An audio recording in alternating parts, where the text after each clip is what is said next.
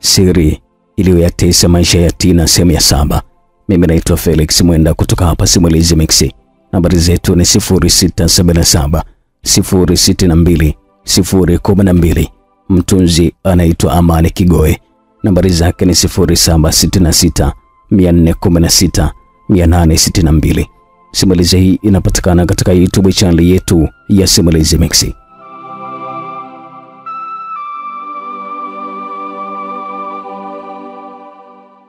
Sehemu ya sita tulisha pale ambapo ilikuwa ni ndani ya hoteli ya Big Chamba. Nixon alionekana akiwa anaingia katika ofisi ya baba yake. Kilichoendelea, karibu sana katika sehemu ya saba.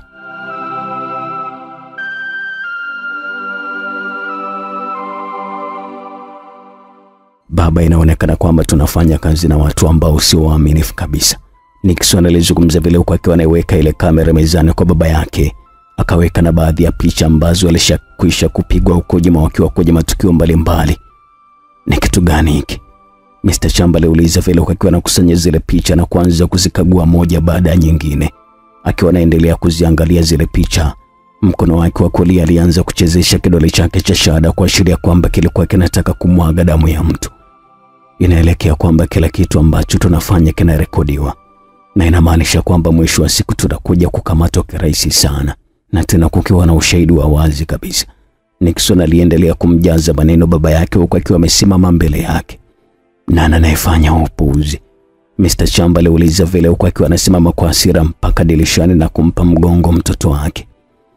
Aliyefanya hivyo tayari tushammaliza, lakini shida iko kwa aliyemtuma. Nixon alizungumza vile huku akiwa ameinamisha tu kichwa chake chini. Shida iko wapi? Mr. Chamba alimuuliza vile mwanaye huku akiwa anamgeukia anayehusika na mchezo mzima ni mtu wako wa karibu sana mzee. Inaonyesha unazungukwa bila wewe hata kujua. Nixon alizungumza vile huku akiwa anakaa kwenye kiti. Nitajie ni nani huyo mpuuzi? Alizungumza vile baba yake huku akiwa anafoka. Ni RPC mzee. Nixon alijibu vile huku akiwa anamwangalia baba yake kwa hisia kali sana. Na Mr. Chamba akajikuta akiwa anakaa kwenye kiti huku akiwa haamini kabisa masikio yake kwa kile ambacho alikuwa amekisikia kutoka kwa mtoto wake Nixon. Walibaki wakiwa wanaangalia na mtu na baba yake bila kusema chochote, na ndipo Mr. Chamba akanyanyua sura yake na kisha kumwangalia Dickson. RPC auawe, alizungumza vile Mr. Chamba na kisha akavuta draw ya meza yake, akatoa silaha yake na kisha akavaa koti lake la suti. Baki ofisini hapa mpaka nitakaporudi, Mr. Chamba akamwamrisha vile bwanaye, na yeye akaisha zake. Nixon alibaki akiwa anamshangaa tu baba yake bila kutia neno lolote. Alikuwa anaelekea kukaa kwenye kiti cha kuzunguka, na yeye pia alikuwa bado na waza ni kitu gani ambacho baba yake anaenda kukifanya. Ndani ya hoteli ya Komba New Hotel, Vicky alikuwa na shughuli zake katika viunga vya hoteli ya baba yake. Walikuwa wanajaribu kupanga mashambulizi dhidi ya Tina. Mbona yule ni mtoto mdogo sana kwetu Vicky? Yaani unawaza mpaka unataka kupasua kichwa kisa Tina? Doro alizungumza vile huku akiwa anakunywa waini iliyokuwa kwenye glasi huku akiwa anamwangalia Viki kwa jicho la kishujaa. Unadhani kwamba tunaweza kumzuia yule mbwa? Viki aliuliza vile huku akiwa anakaa vyema kwenye kiti chake. Yaani hapa cha msingi ni kwamba tuanze kumfuatilia kila hatua ambayo anapiga na tutaanza kumfanyia visa ambavyo vitamchosha naye mwenye hatamu wa kumwacha Maiko. Doro alikuwa anaendelea tu kutoa mawazo kwa shuga yake Vicky. Yaani unaambiwa kwamba ukiwa na hela basi kila rafiki atakuwa anataka awe mshauri wako, na hata kama akili zake haziko sawa. Huyu ni kumtengenezea tu habari za uongo na kumzushia vitu ambavyo hata Maiko akisikia akate tamaa ya kuwa naye. Kachi naye alizungumza vile kwa akiwa anasimama na akaanza kucheza mziki ambao walikuwa anasikiliza kutoka kwa DJ. Lakini jamani, hayo yote tutakapokuwa tunafanya, Michael lazima asijue kwamba ni sisi, maana akija kujua itakuwa ndio tunaharibu kabisa badala ya kutengeneza. Viki aliwapa tahadhari shuga zake, alikuwa anamwangalia Kachi aliyekuwa anaendelea tu kucheza mziki. Lakini pia msisahau kwamba kesho ni siku ya kuzaliwa ya Michael, kwa hivyo nawaomba sana tujiandae na inabidi tumfanye surprise ya maana, asijue kama tunaenda. Viki aliendelea kuzungumza vile huku akicheka na kugongeshana mikono hewani. Basi mambo yakawa ni furaha sana kwao, na walikuwa wanaendelea tu kupata vinywaji pamoja na chakula pale hotelini. Tukirudi katika ofisi ya Mr. Chamba inayopatikana katika hoteli ya Chamba Big Hotel, alionekana mama yake na Viki akipanda lift kuelekea ghorofani. Alionekana mama yake na Viki akipanda lift kuelekea ghorofani ilipokuwa ile ofisi.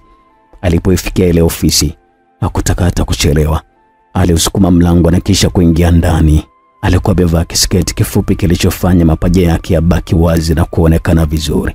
Alipoingia tu, Nixon akajikuta na mdaka na wakaanza kupigana mabusu, huku ikionyesha dhahiri kwamba walikuwa na muda mrefu wa kuwahi kuonana. Nixon, subiri kwanza mpenzi, mama yake na Viki alizungumza vile, huku akiwa anajaribu kumtoa mwilini mwake, lakini alishindwa kwa sababu jamaa alikuwa ameshamkamatia kisawasawa. Waliendelea kushikanashikana mpaka kwenye sofa lililokuwepo pale ofisini na kujitupa. Walikuwa bado tu wanang'ang'aniana kama ruba anavyong'ang'ania ngozi ya binadamu. Nixon, jamani, mbona unakuwa hivyo? Yaani sio mwelewa hata kidogo. Mama Viki aliendelea kulalamika, lakini hakuna aliyemjali zaidi ya kujikuta akiwa anachojelewa nguo zake zote na kutupa pembeni. Baada ya risari moja kupita, walionekana kila mmoja akivaa vizuri nguo zake, huko mama Viki yeye akiwa anatengeneza nywele zake akiwa na kioo mkononi sambamba na kitana maalum cha kuchania nywele. Nimekuja hapa kwa kazi moja tu, nadhani unanielewa. Mama Viki alizungumza vile huku akiwa anaendelea kuchana nywele zake na macho akiwa kwa Nixon. Naelewa ndio, lakini mimi bado sijakamilisha. Nixon alimjibu vile kwa dharau huku akiwa anamwangalia dirishani. Ni kwa nini unakuwa nje ya ahadi zako Nixon? Yaani kila siku na hujawahi hata siku moja kukamilisha ahadi zako. Mama Viki alizungumza vile huku akiwa anaweka kile kitana kwenye pochi yake. Sio kwamba nashindwa kutimiza ahadi zangu, hapana. Jua kwamba nina kazi nyingi, kwa hivyo nakuwa na bano sana mpaka nakosa muda, mpenzi wangu. Nixon alijibu vile huku akiwa anamshika kidevu mama Viki na kumbusu mdomoni. We niambie tu kama utaki na sio kunizungusha kila siku, alafu nikikupigia simu utaki kupokea. Yaani sijui hata unataka mimi ni waje Nixon. Mama Viki alizungumza vile huku akiwa anasimama, akaonyesha kwamba alikuwa amechukizwa sana na zile habari za Nixon. Kwa hivyo umeamua kutumia hasira, sio? Na ukumbuke kwamba mimi ndio mwenye dhamana ya ile ndoa yako. Yaani nikisema kwamba ivunjike, basi itavunjika hata sasa hivi, na utarudi katika yale maisha yako ya kujiuza kama zamani. Nixon alizungumza vile huku akiwa anasimama na kuwasha sigara yake kwa mapozi, na kwa upande wa mama Viki, yeye yale maneno yalimfanya anyong'onye na kisha kusimama.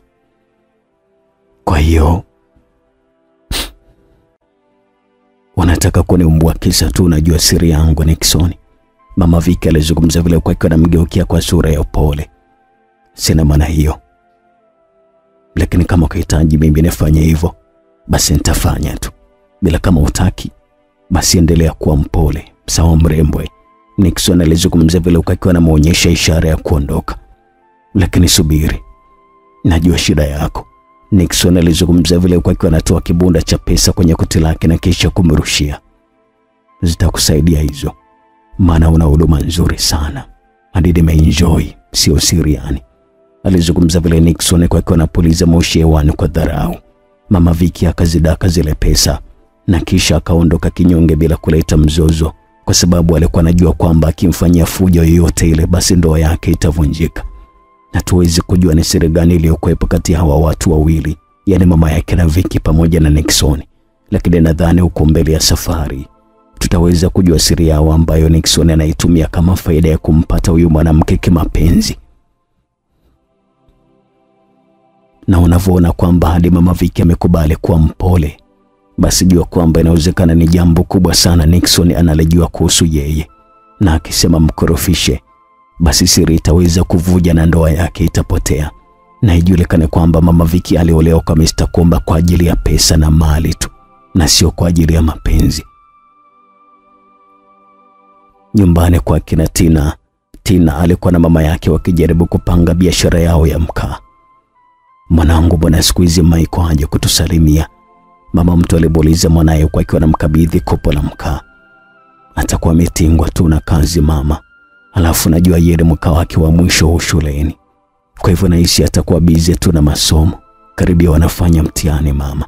Tina alimjibu vile mama yake huku akiwa analiweka ile kopo alilopewa na mama yake, na kisha akajifuta jasho usoni. Kabla hata hajamaliza kufuta lile jasho, akaona gari ya Michael ikiwasili taratibu pale nyumbani kwao. Atakuwa amefuata kitu gani tena huyu? Tina alikuwa anajiuliza tu vile moyoni, huku akiwa anajifanya yuko bize na kazi. Gari ikasogea mpaka mbele ya banda la mkaa, akafunga breki na kisha akashuka, huku akiwa na boksi kubwa katika mikono yake. Karibu sana baba. Mama Tina alimkaribisha vile Michael, huku akiwa anasogeza baadhi ya makopo ya mkaa pembeni. Tina, mpokee rafiki yako jamani. Mbona umesimama tu kama mlengoti? Mama alizungumzia vile huku akiwa anasimama na kwenda kunawa mikono yake iliyojaa vumbi la mkaa. Ngoja ninawe kwanza mikono baba, maana hizi kazi zetu tusije kuchafuana bure. Usijali mama, kawaida mbona hiyo.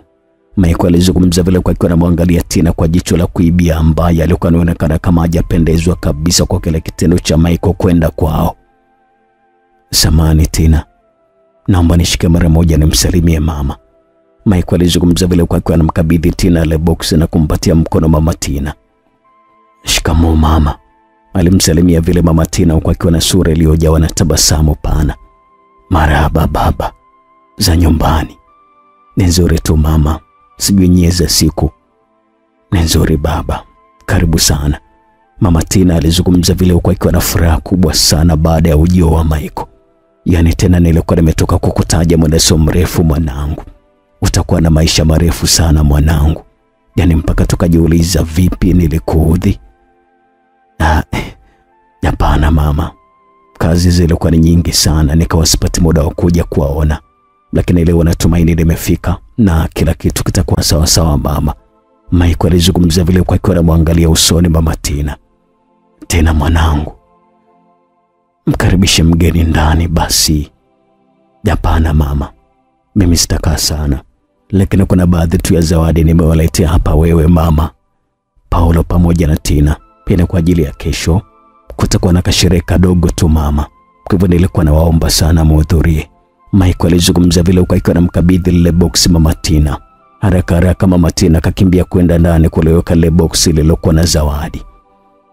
Najua bado una hasira na mimi Tina, lakini haupaswi kuwa hivyo, kwa sababu nishajaribu kukuelekeza kila kitu. Michael alikuwa anajitetea vile huku akiwa amesimama mbele ya Tina. Mimi nilikwambia nini kuhusu kuja hapa nyumbani? Tina akamuuliza vile Michael huku akiwa anamwangalia usoni. Sioni sababu ya wewe kunizuia kuja kwenu Tina. Michael alisita kidogo na kisha kamfuta vumbi la mkaa Tina lililokuwepo shavuni mwake na kisha kaendelea. Kwa nini tena unataka kuniumiza kisa tu kuziweka hisia zangu kwako? Michael aliendelea kuzungumza vile huku akiwa anamsogelea Tina na kumbusu chavuni, na kitendo kilichokuwa kimeshuhudiwa na mama yake mzazi.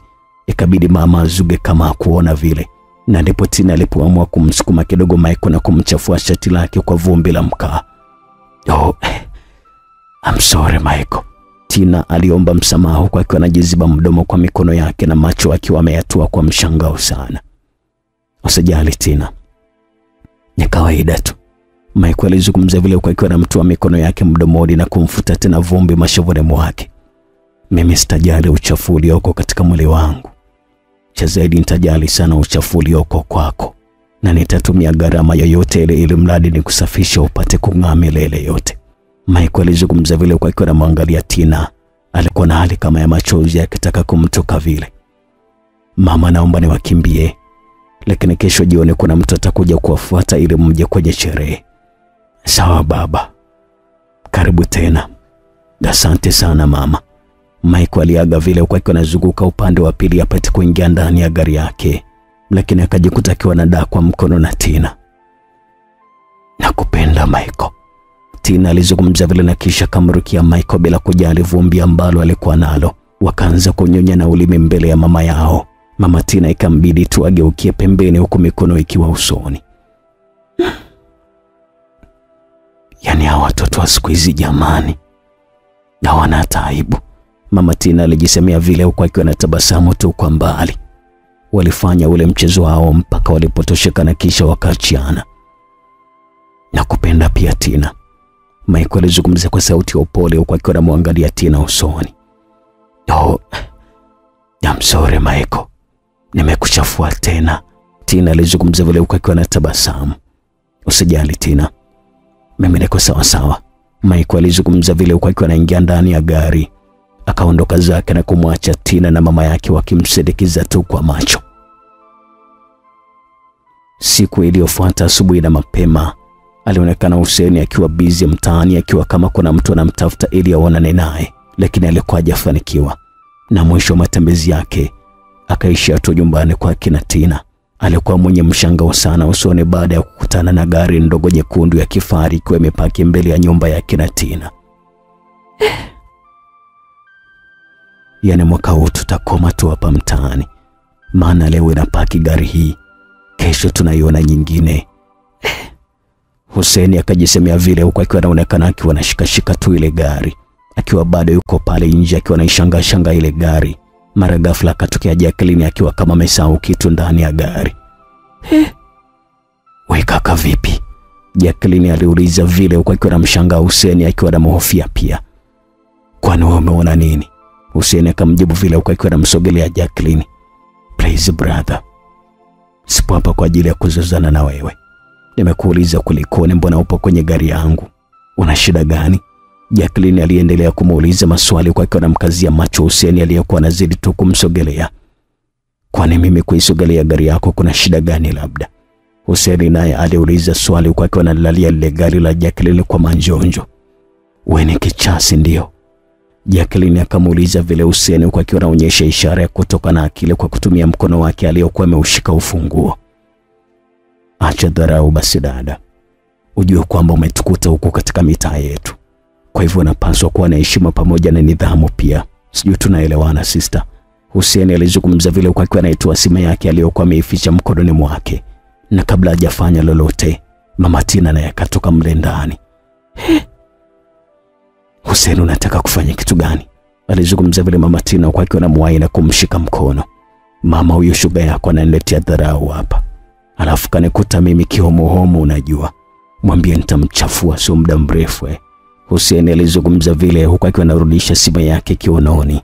Muda ule wote Jacqueline yeye alikuwa amebaki tu anamshangaa Hussein akimchukulia kama mwenda wazimu. Acha bwana mshikaji wangu, yaani hadi kwangu anataka kunijazia nzi Hussein.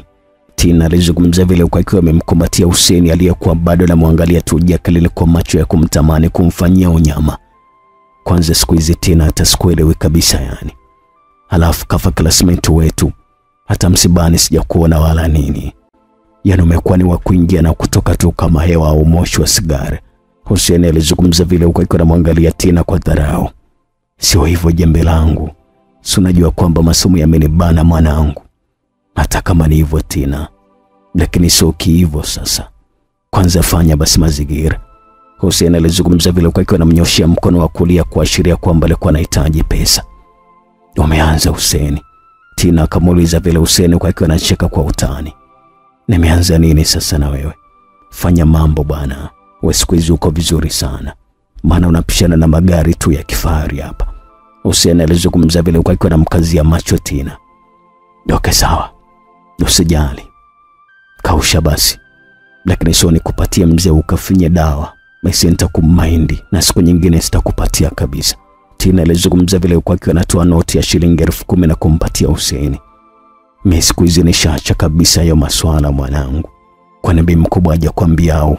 Hussein alizungumza vile huku akiwa anaiweka ile simu mfukoni.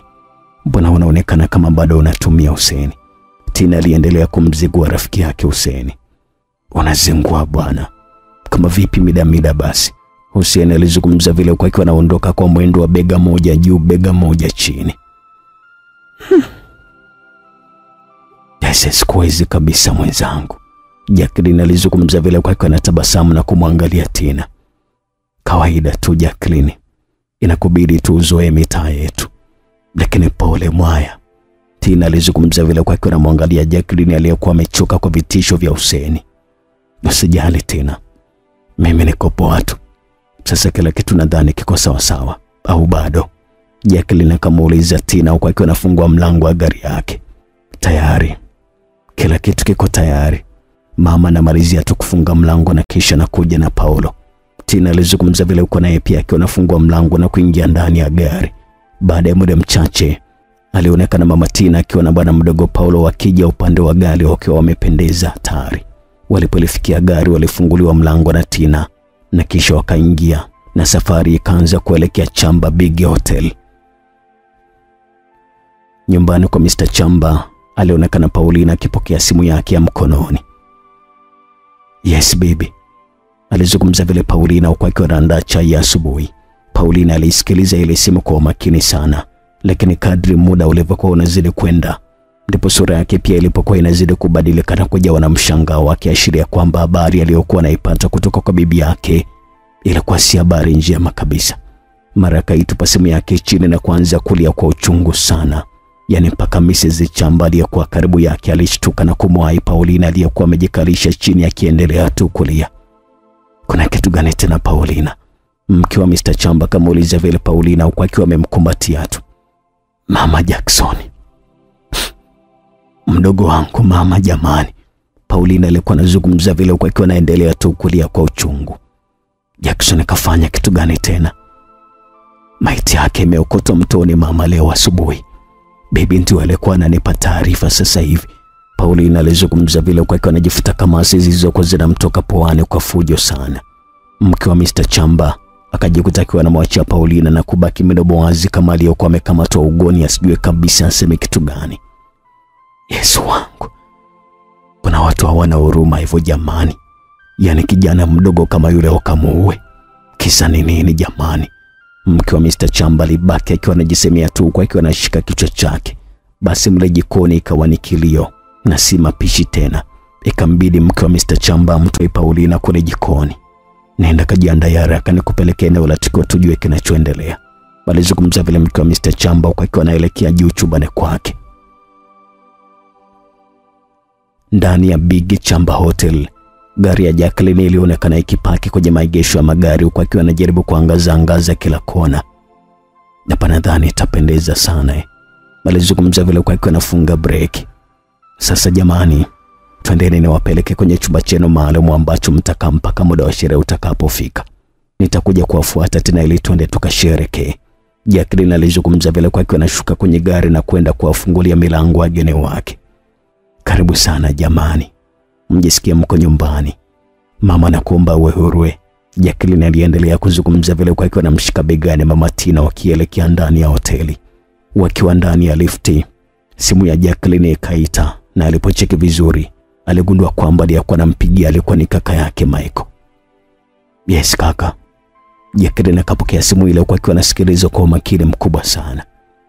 Sasa sikiliza mdogo wangu, ile ishu tayari ishasanuka na naangalia taarifa ya habari hapa kwamba mwili wa Jackson tayari umeshaokotwa kando kando ya mto, na hapa nyumbani tayari mama pamoja na Paulina wameenda katika eneo la tukio. Michael alizungumza vile kwenye simu, akasita kidogo na kisha kuendelea. Polisi wanasema kwamba alipigwa risasi na watu wasiojulikana. Du, Jacqueline akaishia kuguna tu kwa akiwa anaonekana hana hamu kabisa. Lakini usijali, na kuna chochote ambacho kitakachoharibika. Sawa dadangwe? Michael alimuuliza vile mdogo wake. Sawa kaka, Jacqueline akajibu tu vile kinyonge. Vipi, umeshawafikisha hotelini tayari? Ndio tunaingia hotelini hivi sasa hivi. Jacqueline akajibu vile kwa akiwa anamwangalia Tina usoni. Okay, sawa, baadaye basi. Okay, poa. Jacqueline akajibu vile huku akiwa anakata simu na kuiweka kwenye pochi yake. Mlango wa lifti ulifunguka na moja kwa moja wakaanza kuhesabia korido moja baada ya nyingine mpaka walipofika kwenye chumba nambari mia sita na sita. Karibuni sana jamani, mtakaa humu na kila kitu mtaletewa humu. Tayari tushawapatia maelekezo wa hudumu wetu wote. Jacqueline alizungumza vile huku akiwa anafungulia milango. Kwa upande wake Tina, yeye akikuwa ni kitu kigeni sana kwake, kwa sababu alikuwa ameshawahi kuletwa na Michael kwenye hoteli ile ile, na kwa upande wa mama Tina, yeye kilikuwa ni kitu kigeni sana kwake. Kwanza alikuwa anashangaa shangaa tu.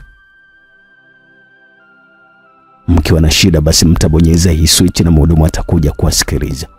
Jacqueline alizungumza vile kwa akiwa anashika switch iliyopo karibia na mlango. Sawa, usijali Jacqueline. Tina akajibu vile kwa akiwa anakaa kwenye kitanda. Sasa ngoja mimi niwaache kwa muda kidogo tu ili tukaandae mambo fulani hivi. Jacqueline alizungumza vile kwa akiwa anaonekana mwenye haraka sana.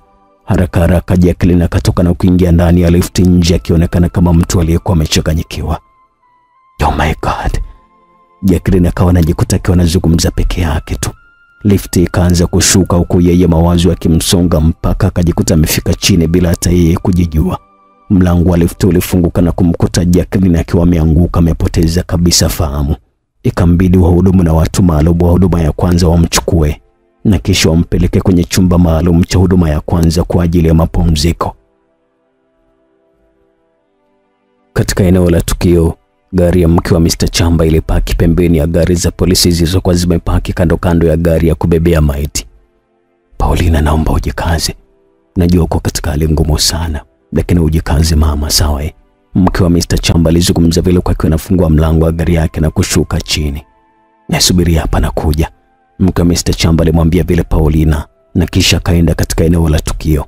Kabla hata hajafika mbali, bali kutana na bibi yake na Paulina. No, pole sana rafiki yangu, alizungumza vile mke wa Mr. Chamba huku akiwa anamkumbatia bibi yake na Paulina. Mjukuu wangu bado ni kijana mdogo sana, lakini wamemuua mama Chamba. Bibi Paulina alizungumza vile huku akiwa analia na kufuta machozi. Najua unaumia sana shoga yangu, lakini tujikaze, maana kila mtu atakufa.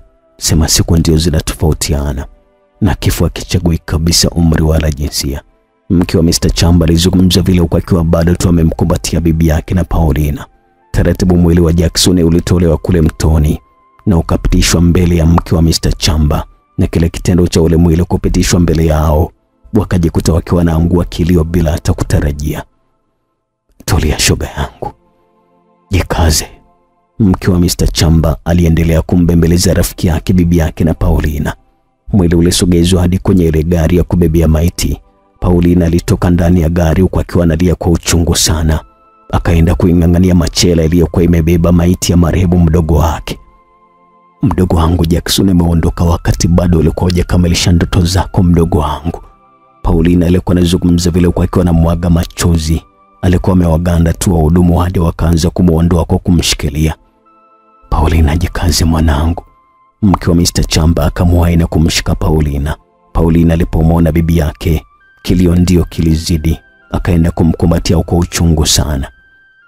Jikaze mjukuu wangu, ni mipango ya Mungu. Bibi yake na Paulina alizungumza vile kumnyamazisha mjukuu wake Paulina. Nyumbani kwa Mr. Chamba kuna mazungumzo ambayo yalikuwa yanaendelea. Hakuna jambo ambalo halina mwisho mzee. Nixon alizungumza vile kwa akiwa na mimi na maji ya baridi kwenye grasi. Kwa hivyo namaanisha kitu gani? Mzee Chamba alimuuliza mwanaye, naye pia alikuwa na kinga grasi yake ya maji ili amiminiwe maji ya kunywa. Itabidi tujihadhari mapema sana, hata kabla RPC hajafanya kile ambacho nahitaji kufanya. Nixon alizungumza vile huku akiwa anapouza koo lake taratibu. Hilo ni swala la msingi sana, lakini najiuliza maswali. Tutamwondoa vipi huyo mtu? Mr. Chamba aliuliza vile huku akiwa anakaa kwenye kiti chake kirefu. Hiyo kazi niachie mimi mzee, nitakupatia majibu. Nixon alizungumza vile huku akiwa anapanda gorofani, na wakati anaenda kule juu gorofani, Jacqueline naye akawa anaingia ndani huku akiwa analia. We, kuna nini? Mr. Chamba akamuuliza vile mwanaye huku akiwa anasimama na kumsogelea binti yake. Hamna baba. Jacqueline akazungumza vile akiwa anamkumbatia baba yake. Wakati wamekumbatiana mtu na baba yake, mara Mike akawa anashuka kutoka juu gorofani. Kuna nini? Mike aliuliza vile huku akiwa na maji ya kunywa na kusimama mbele ya mzee wake. Hata mimi ndo nashangaa tu mdogo wako anaingia ndani huku akiwa analia. Tatizo nini dada yangu? Mike akamuuliza vile mdogo wake huku akiwa anamkumbatia, lakini Jacqueline hakuweza kabisa kujibu jambo lolote. Please, naomba usilie dada yangu, Mike alizungumza vile huku akiwa anamkumbatia na kumsaidia kupanda gorofani. Mike alimfikisha mdogo wake chumbani na kumlaza kitandani. Hebu tulia mdogo wangu, ni mambo ya kawaida tu, inabidi ujikaze Mike alizungumza vile huku akiwa anamtuliza na kumvua viatu vyake. Pumzika kidogo, mimi ngoja nikafanye masuala ya chakula.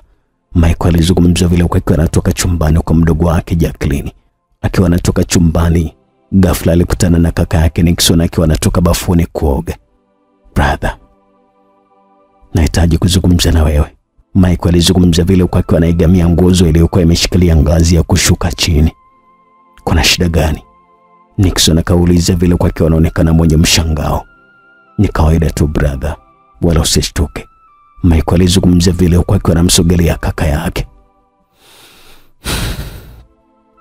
Sikiliza brother, najua kwamba unahusika kwa asilimia zote katika hili swala, na tena ni asilimia mia moja. Hauna pa kukwepea, alizungumza vile Michael huku akiwa anamsukuma sukuma kaka yake kifuani. Sikuelewi Michael, unazungumza kitu gani? Nixon alizungumza vile huku akiwa anamwangalia mdogo wake. Unajifanya hujui wakati uchafu wenu wote uko wazi. Mmemua yule mpiga picha wa watu na mmemua mdogo wake na Paulina pia bila kuwa na kosa lolote. Michael alizungumza vile huku akiwa anapunguza sauti na kumsogelea kaka yake usoni. Hebu shika hizo picha uone upuuzi wako. Sijui mtamua pia na huyu aliyepiga hizi picha au vipi? Michael alizungumza vile huku akiwa anampatia kaka yake Nixon picha zilikuwa zinamwonyesha akiwa anamuua mpiga picha na akiwa anamuoa pia mdogo wake na Paulina Jackson. Nixon alidoa kidogo na kisha kazibeba zile picha na kisha akakimbilia tu chumbani kwake. Hatuna kaka hapa, bali tunataka, Michael alijisemea vile moyoni, huku akiwa anamwangalia kaka yake. Baada ya kuachana na kaka yake, Michael alishuka chini mpaka alipokuwepo baba yake na kisha akamchokoza. Ipo siku kila kitu kitakuwa wazi na kila kilichojifika kitaonekana wazi, na hapo ndipo watajulikana walio wema na wale waovu vile vile. Michael alizungumza vile kwa ikiwa anajikalisha kwenye sofa. Unamaanisha kitu gani? Baba yake akauliza vile kwa ikiwa anamwangalia mwanaye. Mwisho wa mtoto wako Nixon unakaribia, na usipofanya lolote basi tutampoteza, maana tulikuwa tunawapigia kelele mkawa mnatuona sisi ni vinyago. Michael alizungumza vile huku akiwa anasimama na kwenda jikoni akimwacha baba yake akiwa amedua asijue ni kitu gani alichokuwa anamaanisha mwanaye. Jioni ya siku ile, watu wengi walioalikwa kwenye ile sherehe walionekana wakiwa ndani ya ukumbi maalum uliokuwa unapatikana katika ile hoteli ya Mr. Chamba, na huku taratibu miziki laini ilikuwa inatumbuiza kutoka kwa DJ wa ile sherehe, na wageni waalikwa walikuwa wanaendelea kuwasili na huku waliokwisha kuwasili wakiendelea kupatiwa vinywaji na wahudumu.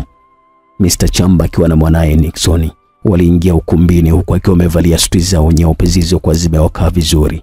Walikuwa wanasindikizwa na walinzi wao wawili nyuma. Moja kwa moja Mr. Chamba balienda na kisha kukamata kipaza sauti. Asanteni sana ndugu wageni wale kwa kuweza kufika hapa leo katika sherehe hii ya kijana wangu ambaye leo ametimiza miaka kadhaa. Labda niseme tu kwamba karibuni sana. Baba yake na Michael alizungumza vile na kuweka kipaza sauti juu ya meza na kwenda kukaa meza husika. Sherehe ilikuwa ni nzuri sana, yani ilikuwa ni kama kulikuwa na mashindano ya mavazi. Na kupita muda, familia ya bwana Beno ama mheshimiwa kama wengi walivyokuwa wanapenda kumuita, ilitanguliwa mbele na dada yao mkubwa aliyekuwa anaitwa Elizabeti, na kulia kwake alikuwepo mzee mzima Dickson, na mwisho alikuwepo mdogo wao upande wa kushoto na wao pia walikuwa ndani ya suti zao nyeupe utazani, walikuwa wameambizana kama sare ya leo ilikuwa ni nyeupe. Walikaribishwa na kuonyeshwa sehemu ya kwenda kukaa, na moja kwa moja wakaenda kukaa kwenye meza ambayo alikuwa amekaa Mr. Chamba na mwanaye Nixon. Na kwa kuwa wazazi wao walikuwa katika majukumu ya kitaifa, wao hawakuweza kuhudhuria katika ile sherehe, na ndio maana walionekana tu akina Dickson wakiingia bila kuwa na wazazi wao. Vichana wakaingia wakiwa ndani ya suti nyeusi walikuwa wamebeba pia zawadi zao katika mikono yao, na hawa si wengine bali lilikuwa ni kundi la msichana Viki. Walikaribishwa na wahudumu na kisha wakaelekezwa kwenda kukaa katika meza za watu wa kawaida, na wakatulia wakiwa wanasubiria tu mchezo kamili uweze kuanza. Hivi ni nani aliyewaalika hawa wapumbavu? Mr. Chamba alimuuliza vile Dickson, huku akiwa anawaangalia akina Viki kule walikokuwa wamekaa. Hata mimi sielewi baba, Nixon akamjibu vile baba yake huku akiwa anaendelea tu kuchezea simu yake. Muda uliokuwa unasubiriwa kwa hamu hatimaye ukawadia. Mike aliyekuwa anasindikizwa na mdogo wake Jacqueline waliwasili ukumbini, na huku wao pia walikuwa wamekula suti za rangi nyeupe zilizokuwa zimenakishiwa kwa kitambaa cheusi kwenye kora. Watoto wa mjini wanasema kwamba walitokerezea. Taratibu walikaribishwa na kuelekezwa katika meza kuu. Meza kuu ilikuwa na viti vinne viwili vikubwa vilivyokuwa vimepambwa vizuri na vilikuwa mbele ya viti vingine vidogo viwili ambavyo hivi vilikuwa nyuma. Jacqueline akapewa kipaza sauti. Sina mengi ya kuzungumza, cha zaidi ni kusema tu karibuni sana ndugu wageni waalikwa. Nasikitika kusema kwamba mama wa watoto wetu atachelewa kuingia ukumbini, lakini nadhani hakuna chochote ambacho kitaharibika. Karibuni sana. Jacqueline alizungumza vile na kisha akamkabidhi kipaza sauti mshereheshaji. Baada ya muda, mshereheshaji naye akakamata kile kipaza sauti. Ndugu waalikwa, kabla mambo hayajaanza, itabidi tusimame na kumkaribisha malikia wa sherehe ya leo. Malikia huyu anatokea nchini Venezuela na yuko na mama yake. MC alizungumza vile huku akiwa na tabasamu na taa zikazimwa pale ukumbini, na zilipokuja kuwaka aliingia mwanadada Tina huko naye pia akiwa amevaa suti nyeupe na yenyewe pia ilikuwa imerembwa kwa ufito mweusi kwenye kora. Tina alikuwa amependeza sana kupita kiasi, yani mpaka watu wote pale ukumbini wakabaki midomo wazi, na mbaya zaidi wapinzani wake wa kina Viki wakabaki midomo wazi, wasiamini kabisa kile ambacho kilikuwa kinatokea. Taratibu Tina akiwa na sindikizo na mziki laini alisogea mpaka meza kuu ambapo alikuwa amekaa Michael, Jacqueline pamoja na Rachel.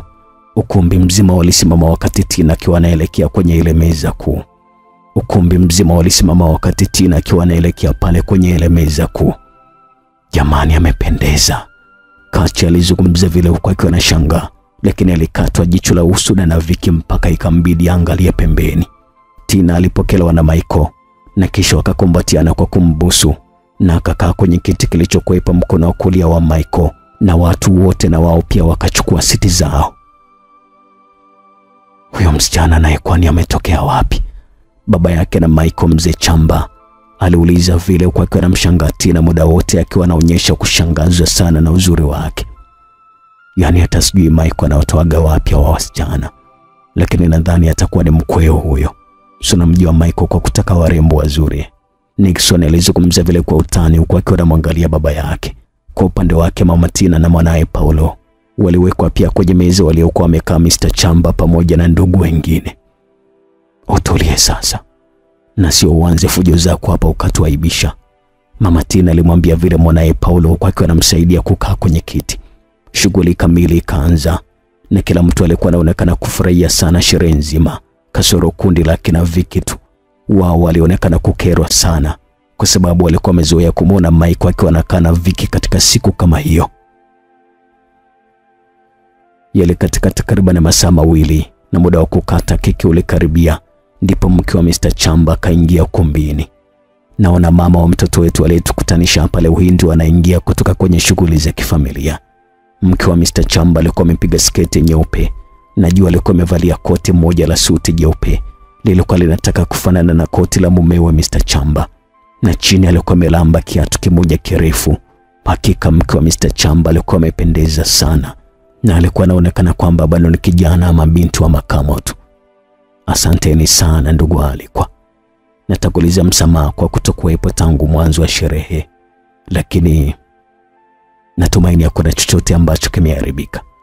Mke wa Mr. Chamba alisita kidogo, akawaangalia wahudumu akiwa anaashiria kama kuna kitu kilikuwa kimepungua. Watu walikuwa napiga tu makofi.